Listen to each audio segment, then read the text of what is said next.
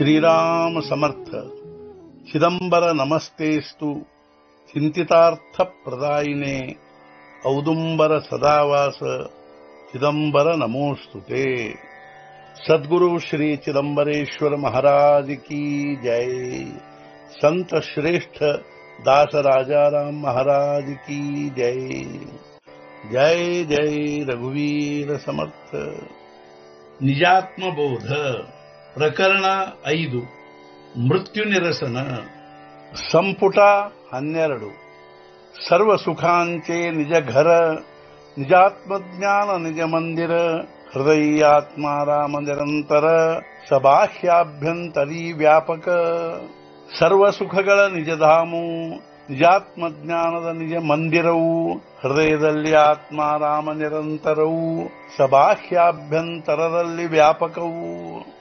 ಸರ್ವ ಸುಖಗಳ ಆಗಮ ಸ್ಥಾನವಾದ ಈ ಸ್ವತಃದ ಮನೆಯೆಂದರೆ ಸ್ವತಃದ ಶರೀರವಾಗಿರುತ್ತದೆ. ದೇಹರೂಪಿ ಮಂದಿರದಲ್ಲಿ ಆತ್ಮ ರಾಮನಿರುತ್ತಾನೆ. ಅರ್ಥಾತ್ ಹೃದಯಸ್ಥ ಆತ್ಮ ಅಲ್ಲಿ ನಿತ್ಯ ಇದ್ದೇ ಇರುತ್ತಾನೆ.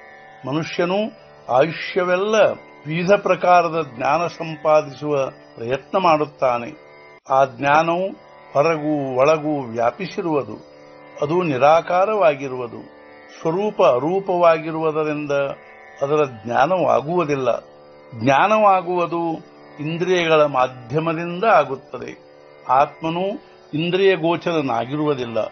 ಅವನು ಹೃದಯದಲ್ಲಿಯೇ ಇರುತ್ತಾನೆ. ಅವನ ಅಧಿಷ್ಠಾನದಲ್ಲಿಯೇ ದೇಹವೆಂಬ ಮಂದಿರ ಕಾರ್ಯರತವಾಗಿರುತ್ತದೆ. ಹೃದಯರಾಹತ ನಿವಾಂತ ನಿಜಾತ್ಮ ಸುಖವೋಯ ಪ್ರಾಪ್ತ ಸದಾ ಸುಖಿ ಸರ್ವಗತ ಪಾಯಿಲಾಗತ ಜ್ಞಾನ ತ್ಯಾಚ. ಹೃದಯದಲ್ಲಾದನು ಸ್ವಸ್ವರೂಪ ಸ್ಥಿತನು. ನಿಜಾತ್ಮ ಸುಖ ಪ್ರಾಪ್ತಗೊಳಿಸಿಕೊಂಡನು ಸದಾ ಸುಖಿ ಹಾಗೂ ಸರ್ವಗತನು.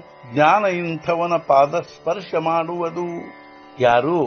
ಹೃದಯದಲ್ಲಿ, ಸ್ವಸ್ವರೂಪದಲ್ಲಿ ಸ್ಥಿರವಾದರು, ತನ್ನ ಅಂತರಂಗದಲ್ಲಿಯೇ ಇಳಿದಿರುವರು.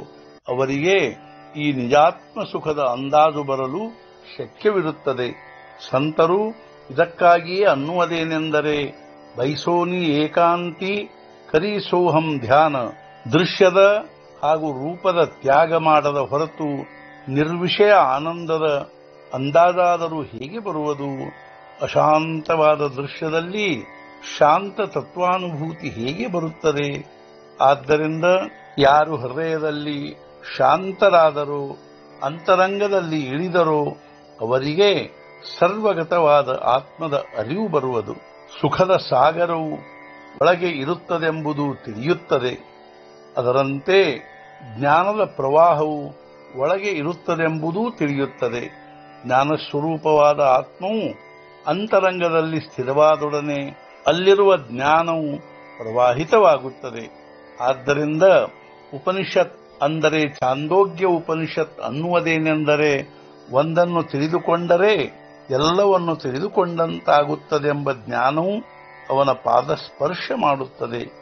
ಅಂದರೆ ಅವನು ಜ್ಞಾನ ಪ್ರದಾನ ಮಾಡುವ ಅಧಿಕಾರಿಯಾಗುತ್ತಾನೆ. ಐಸೆ ಅಸೋನಿ ನಿಜ ಸುಖ, ಪ್ರಾಣಿ ಭೋಗಿತಿ ಜನ್ಮ ದುಃಖ, ವಿಷಯ ಭೋಗಿ ಗುಂತಲೆ ಮೂರ್ಖ, ಭೋಗಿತಿ ನರಕರವರವಾದಿ ಈ ರೀತಿಯಾಗಿರುವುದು ನಿಜ ಸುಖ.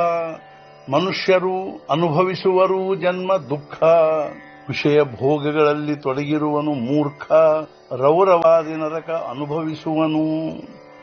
ಜೀವಾದಿಗಳೆಲ್ಲವೂ ಅವನದೇ ಅಂಶವಾಗಿರುವು ಪ್ರತಿಯೊಬ್ಬರ ಅಂತಃಕರಣದಲ್ಲಿ ಜ್ಞಾನಶಕ್ತಿ ಚೈತನ್ಯದ ಪ್ರವಾಹದ ಮಹಾಪೂರವೇ ಇರುತ್ತದೆ.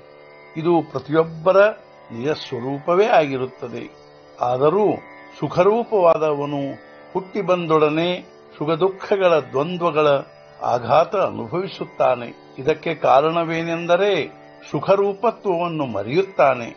ಹಾಗೂ ವಿಷಯಗಳಿಂದ ಸುಖ ಸಿಗುತ್ತದೆ ಎಂಬ ಅವಸ್ಥೆಗೆ ತಲುಪುತ್ತಾನೆ. ಅವನೇ ಅಜ್ಞ ಹಾಗೂ ಅವನೇ ಮೂರ್ಖನಾಗಿರುತ್ತಾನೆ. ಹಾಗೂ ಸುಖಕ್ಕಾಗಿ ಕರ್ಮ ಹಾಗೂ ಸತ್ಕರ್ಮಗಳ ಬೆನ್ನು ಹತ್ತುತ್ತಾನೆ. ಪರಿಣಾಮದಲ್ಲಿ ಇಂದ್ರಿಯ ವಿಷಯಗಳು ಮೋಸ ಮಾಡುತ್ತವೆ. ಹಾಗೂ ದೇಹಾಂತವಾದ ಮೇಲೆ ರೌರವಾದಿ ವಿವಿಧ ನರಕಗಳ ಪ್ರಾಪ್ತಿ ಮಾಡಿಕೊಳ್ಳುತ್ತಾನೆ ಸದ್ಗುರು ಶ್ರೀ ಚಿದಂಬರೇಶ್ವರ ಮಹಾರಾಜ್ ಕಿ ಜೈ ಸಂತ ಶ್ರೇಷ್ಠ दास राजा राम महाराज की जय जय जय रघुवीर समर्थ नमः पार्वती पतये हर हर महादेव